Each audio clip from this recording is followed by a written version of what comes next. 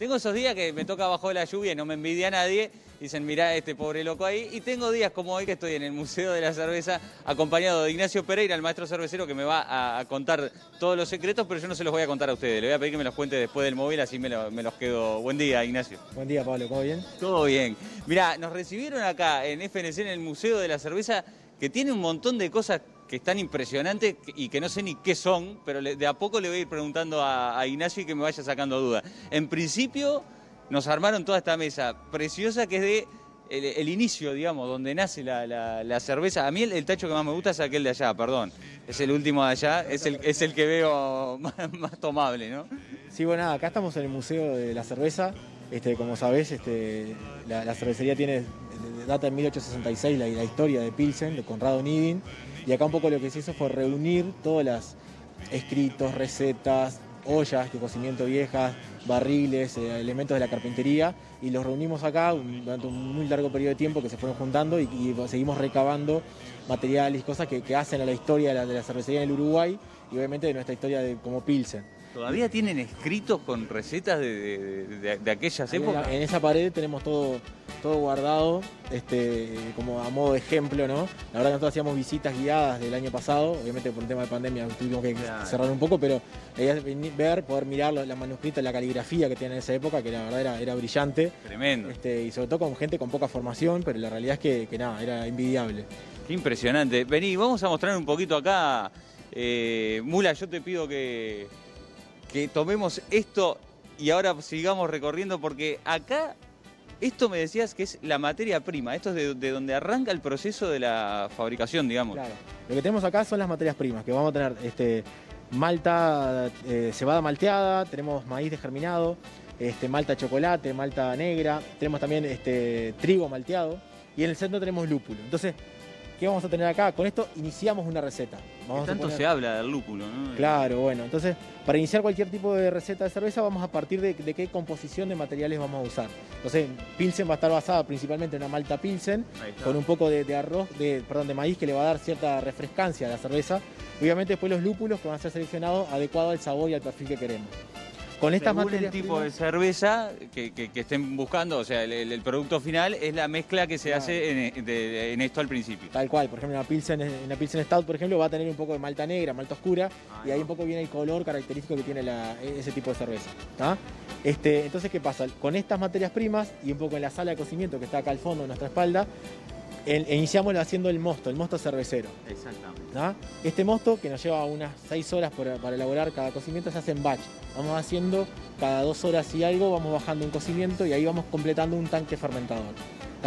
Vamos a agregarle levadura, que es lo que tenemos acá, un ejemplo, y comienza la magia que hace nuestra amiga que va a fermentar, ¿verdad? Acá se ve claramente cómo va un poco cambiando el color, se empieza a generar eh, el, gas carbónico, que es lo que le da como la efervescencia, la cerveza, las burbujitas, ¿verdad?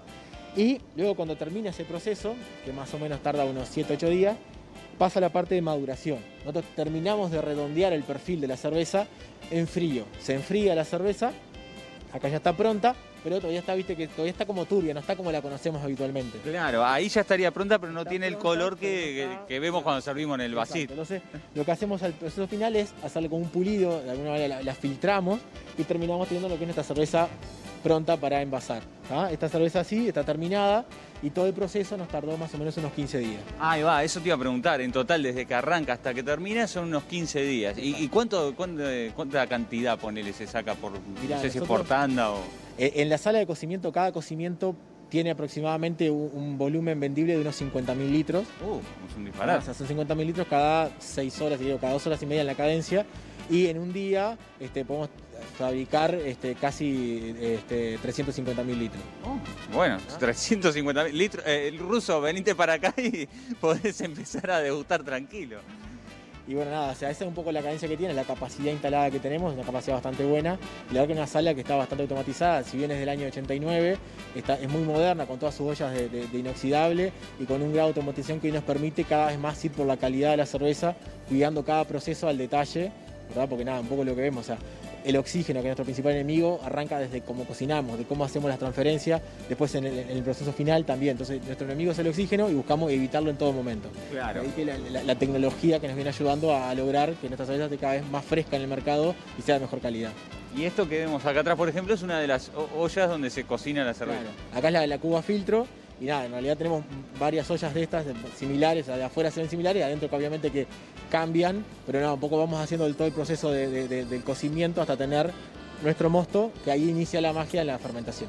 Es impresionante, la verdad está buenísimo conocer. ¿Cuántas veces uno eh, porque la cerveza eh, es una de las cosas más, más, clásicas, o sea, cualquier uruguayo le gusta tomarse un vasito de cerveza y cuántas veces nos hemos tomado sin saber ni siquiera la, mitad de, todo esto. Ahora hay como mucha gente que se está interesando más en esto de, hacer cerveza, los procesos, pero la mayoría de la gente destapa la botella, se sirve y no tiene idea de qué pasó antes por ahí. Ah, no. No, claro. ¿Fue la segunda? De alguna forma nosotros cuidamos mucho la calidad en cada etapa, desde la recepción de materias primas hasta el producto final. O sea, tenemos un panel de degustación entrenado, que somos más de 16 personas que estamos entrenados en encontrar de méritos y cuestiones que hacen que el proceso está garantizado. O sea, se vamos cuidando y cada vez que hay un, un perfil, un sabor que se está yendo un poco por fuera de lo que sería nuestra marca, tratamos de ajustar y entender el proceso e ir consolidando. también nuestro diferencial es entregar siempre el producto, el mismo producto en el mercado, que no tenga variaciones de, estacionalidad o lo que fuera. eso me encantaría. Voy a dejar un currículum para, eh, para integrar el panel de degustación.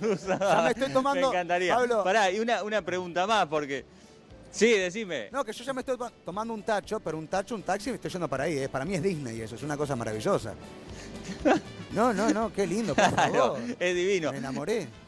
Esto que vemos acá, que, es, una especie de, olla de eso que está ahí atrás, pero más antiguo. Tenemos la evolución al lado, ¿verdad? Esto serían las antiguas ollas de cocimiento, que eran todas ollas de cobre. La verdad que esto requería un trabajo manual muy importante porque había que entrar adentro de las ollas a, limpiar luego de cada uso o semanalmente.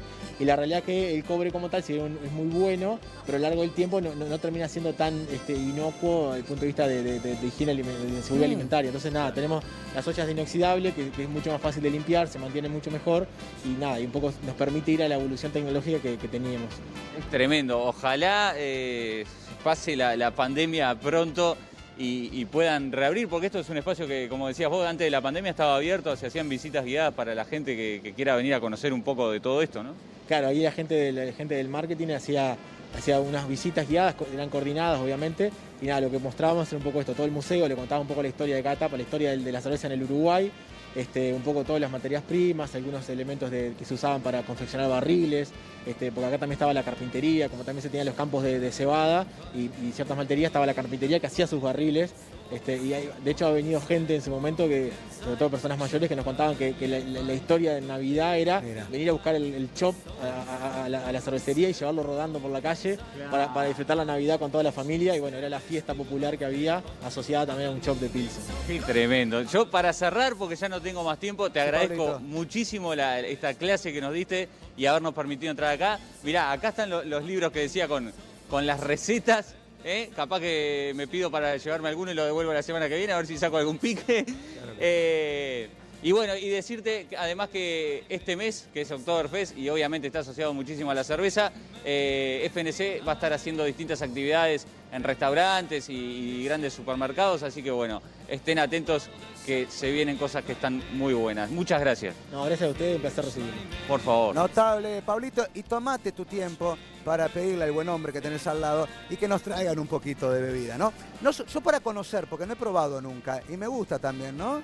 Este, poder degustar de cosas que nunca incursioné. Federico quiere una cerveza, por ejemplo. Además, todos tenemos alma y tenemos alma de cerveza.